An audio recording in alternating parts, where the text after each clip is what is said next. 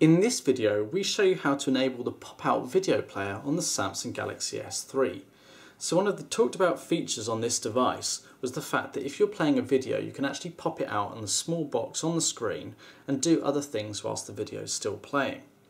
So to do that you go into your applications and find your video player. So we have it here. Select the video you want to play. So I've got this video here and it's now playing.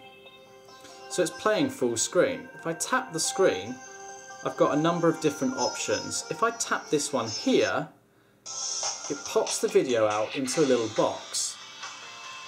And I can tap it and I can move it about. Now I'm just going to turn the volume down on here.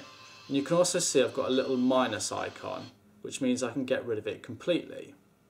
I can go back in, go back into that particular video, press the pop out box again I've got it and I can move it about the screen and I can do different things on my device and the whole time I've got that there and I can move it around and it remains there whilst I'm doing whatever I'm doing until the video has ended.